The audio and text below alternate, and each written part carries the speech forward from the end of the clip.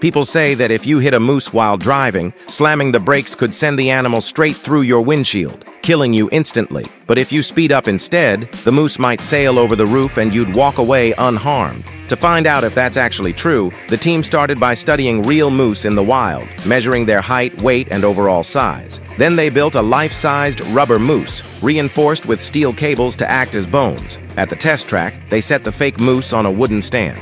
Since no one was brave enough to play the driver, they rigged up a pickup truck to be pulled forward by a pulley system. Two crash test dummies sat up front to simulate what might happen to real people. First up, the control test. The truck hit the rubber moose at 45 miles an hour. The moose flipped through the air, landing hard on the ground. The windshield was almost completely shattered, and the damage was so bad that no real driver would have survived. Next, they tried braking before impact. The truck reached 45 miles per hour and started braking 30 feet before the hit. This time, the damage was noticeably lighter. Finally, they tested the hit the gas theory. The truck accelerated from 45 to 52 miles per hour and smashed into the moose at full force. The result? Total disaster. The windshield was obliterated. Even the A and B pillars were bent out of shape. Turns out, the harder you hit, the worse the damage. So no matter what's in front of you, if a crash is unavoidable, braking is your best chance to stay alive. Myth busted.